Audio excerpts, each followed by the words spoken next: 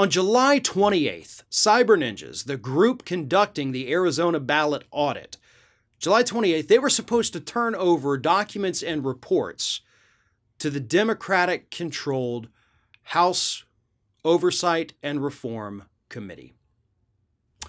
It is now August 12th today, and they still, according to reports, have not turned over any of those reports. A little fishy, isn't it?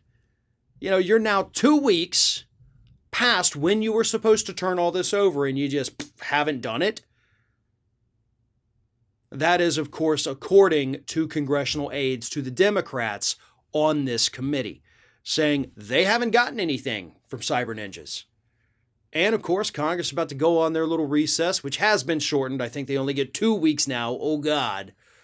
But they're still going to go on their recess and probably let Cyber Ninjas continue to do whatever the hell it is they're doing over there in Arizona, which actually they've moved a lot of it to a lab in the woods in Montana. And uh, just not turn over these reports, these documents to Congress. Y'all got to do better.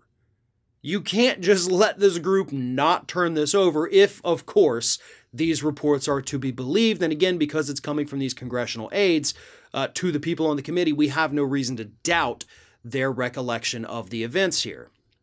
Unless, of course, they're just lying to the press for fun. So, you know, either way, the point is Congress had shown a little bit of initiative here, trying to figure out just what the heck is really going on over there in Arizona, especially with this company doing a ballot audit, even though that's not what they've ever done before. They've already cost the state $3 million because they uh, ruined, or it's suspected that they ruined, the state's vote machines, actually vote counting machines, by accidentally insta- installing malware on them. So they've cost the state 3 million. They're not turning over reports based on what we know so far. And if I'm wrong, please feel free to correct me. You know, if you're at Cyber Ninjas and you say, well, no, hold up, we have gotten these reports, great. Let us know that. Everybody's reporting right now that you haven't, that you blew past the deadline.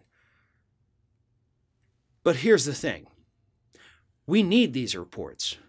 And so if Cyber Ninjas has turned them over, Congress needs to go, or at least the Oversight and Reform Committee, need to come out, do some kind of press conference, and be like, okay, listen, here's what's happening.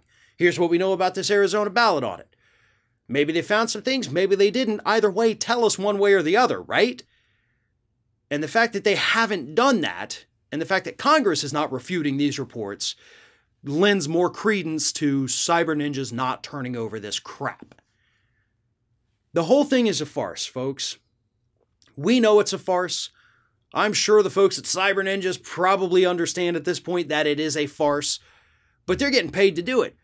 And they've been doing this since April. We're in the fifth month of this ballot audit. And recent reports have indicated that the end may be in sight, but who knows at this point? We don't know what's going on. We don't know what they found, although lack of press conferences from Cyber Ninjas indicates they found nothing. We don't know when it's going to end. We don't even have a full, clear picture of who the hell is paying for this. We know that a bunch of mega donors from the Trump campaign have been uh, pouring money into this. There's far too many questions, and sure as hell not enough answers at this point. We need to know exactly what has happened every step of the way, from the funding to the people doing the audit. And right now, we have virtually nothing.